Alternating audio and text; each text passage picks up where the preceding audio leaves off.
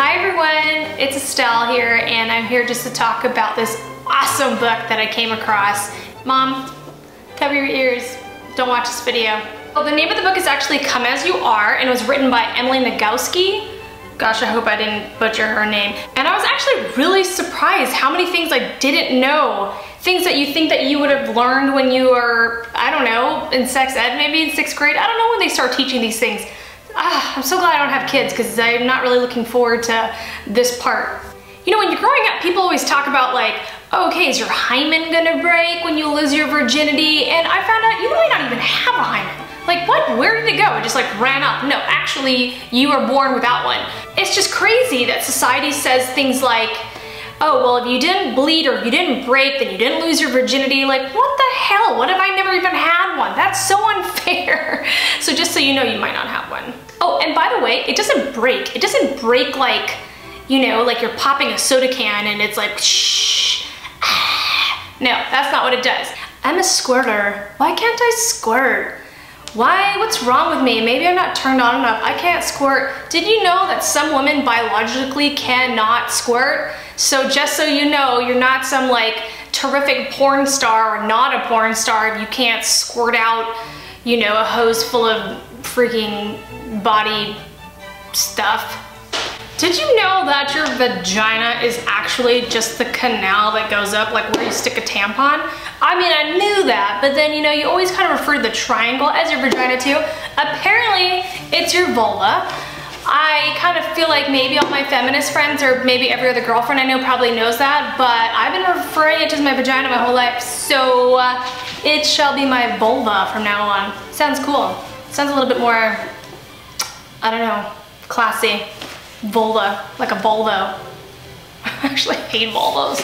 Never mind, scratch that. Apparently only 15% of women have a spontaneous desire for sex. Everybody else, not into spontaneity. Everything for women is context, context, context. Just say it's 100 degrees out and you're walking and you're so hot and you can't wait till you reach this gas station. That gas station is 72 degrees. When you walk in there, it's gonna feel like this huge fresh air. It's gonna feel like air conditioning. It's gonna feel so good.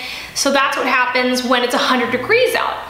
But then flip that. What if it's 40 degrees out and you're freezing and you're walking, walking, walking until you get to this gas station, you can't wait to get there, and then you get there and it's 70 degrees, it's gonna feel like a little sauna. It's gonna feel so good and so warm. So that's context. You got the exact same gas station, both times at 72 degrees, but depending on the context, which side you're on, it can be totally different feeling. Another example she uses is tickling. Like if someone's tickling you and it's fun, it's so fun and it's funny and you're laughing, but when you're annoyed at someone and they tickle you, it's like, don't fucking touch me. You know, sometimes your body does things that has nothing to do with whether or not you're actually aroused. It's actually kind of like, you know when boys in the fifth or sixth grade, something weird happens in class and they get erection? That's non-concordance. That's like, no, the ruler of falling did not turn me on. I don't know what's happening.